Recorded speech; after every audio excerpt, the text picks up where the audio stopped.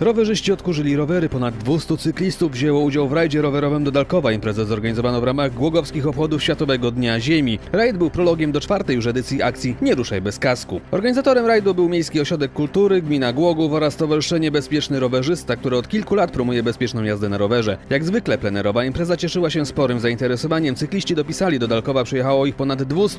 Na miejscu mieli okazję nie tylko posilić się i odpocząć po jeździe, ale też wziąć udział w wielu konkursach. Jak podczas każdego rajdu w ramach akcji Nie ruszaj bez kasku zasadzono w Dalkowie symbol głogowskich rowerzystów, czyli drzewko Głogu. Był to dla mnie wielki zaszczyt, uczestniczę już czwartej edycji tej akcji. Na co dzień jeżdżę w rowerowym kasku i wszystkich do tego namawiam, powiedział nam Wojciech Konieczny, który w imieniu Stowarzyszenia Bezpieczny Rowerzysta zasadził symboliczne drzewko. Rajd do Dalkowa był tylko wstępem do właściwej akcji. Pierwszy rajd już w jej ramach odbędzie się w niedzielę 9 maja. Cykliści wybiorą się do Kluczy. Tam również odbędą się drugie już manewry pod kryptonimem Kask Rowerowy 2010. Już dzisiaj zapraszamy pięcioosobowe drużyny. Tradycyjnie wspierać nas będą żołnierze z głogowskiego garnizonu. Atrakcji na pewno nie będzie brakowało zarówno dla uczestników manewrów, jak i tych, którzy będą je tylko obserwować, zapewnia Elżbieta Urbanowicz, przysiężna inicjatorka i organizatorka rowerowych przedsięwzięć w Głogowie. Maciej Życki, Radio LK.